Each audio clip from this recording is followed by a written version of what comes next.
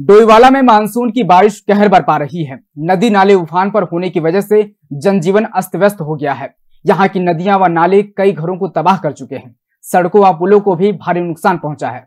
वहीं स्थानीय लोगों द्वारा अब बाढ़ पीड़ितों की मदद की जा रही है।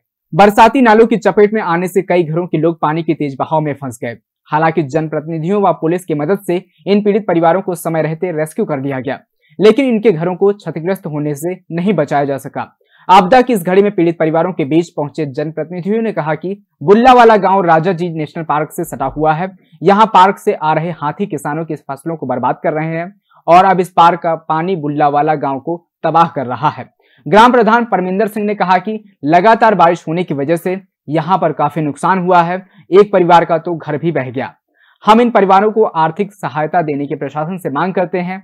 वहीं बीडीसी राजेंद्र तड़ियाल ने कहा कि मेरे पास फ़ोन आया था कि एक परिवार का मकान बह गया और वो पानी में फंस गया है।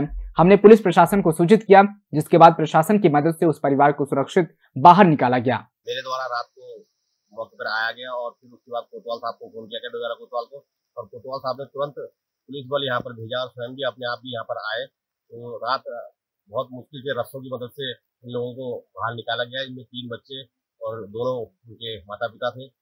रात को सुरक्षित स्थान पर ले आया गया। और मैं धन्यवाद करना चाहूँगा पुलिस टीम का भी कि जिन्होंने रात को एकदम से आकर यहाँ पर मदद पहुँचाई। और ग्रामीण भी थे, हमारे प्रधान जी, बड़े सक्रिय यहाँ पर जो परविंदर सिंह भाई हैं, उनका भी सहयोग पूरा रहा रात भर। यहाँ पर लगातार बारिश होने से जो राजीव राष्ट्रीय पार्क से जो नाले आ रहे हैं, उससे बहुत तगड़ा नुकसान यहाँ पर हुआ है। एक परिवार का तो घर भी बह गया और उसके बच्चे भी रात रेस्क्यू किए गए। तो रात को जैसे फ़ोन आया तो आ तो मैं भी रहा था, लेकिन रास्ते में इतना पानी था कि मैं यहाँ पर नहीं पहुँच। फिर कड़ियाल से संपर्क करा, इन्होंने उनकी मदद करी और मैं मुकेश त्यागी जी, जो हमारे कोतवाल साहब हैं, उनका, उनकी पूरी टीम का तय दिल से धन्यवाद करूँगा कि उन्होंने यहाँ पर आकर कड़ियाल जी के साथ मिलकर इन बच्चों को बाहर निकाला। वही कांग्रेस जिला अध्यक्ष मोहित उनियाल ने कहा की इस क्षेत्र में इतनी बड़ी आपदा आई है, लोगों के घर बह गए हैं, फ़सल बर्बाद हो गई है। हम शासन प्रशासन से मांग करते हैं कि लोगों को उचित मुआवजा दिया जाए। कांग्रेस पूर्व जिला अध्यक्ष ने कहा कि शासन प्रशासन की तरफ़ से इन लोगों को कोई भी मदद नहीं मिल रही है। ये लोग दिहाड़ी मजदूरी करने वाले लोग हैं। अब ये अपने घर को ठीक करें या काम पर जाएँ।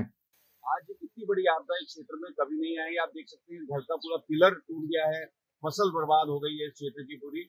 और हम प्रशासन से यही कहना चाहते हैं कि आप जायजा तो कीजिए इस क्षेत्र का आइए जल्द से जल्द जो भी भुगतान हो सकता है क्षेत्र के लोगों को किसानों को जिनका घर है उनको मिलना चाहिए। हर साल यहाँ के लोगों की मांग की जो खाला है उसको चैनलाइज करके नीचे फेंका जाए। और तरीके से अब यहाँ पे आप देख सकते हैं एक तरफ़ कुत्ता लग गया एक तरफ़ खाली और जहाँ पे वो खाली था वहीं से पानी घुस और आज लोगों के घर में घरों में पानी घुसा वो अलग है लोगों के घर का नुकसान हो गया।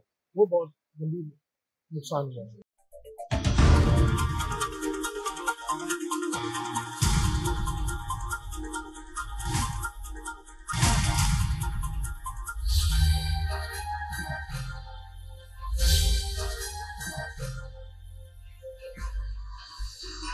आप देख रहे हैं दखल न्यूज़।